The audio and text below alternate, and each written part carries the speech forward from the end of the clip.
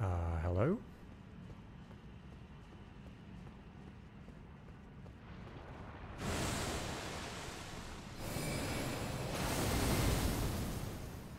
Oh, it's me.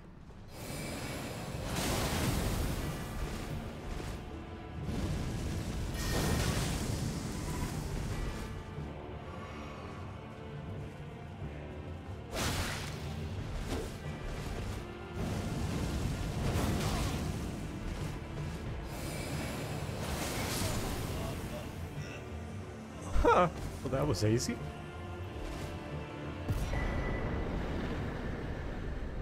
And I got a larval tear out of that. And the silver tear mask.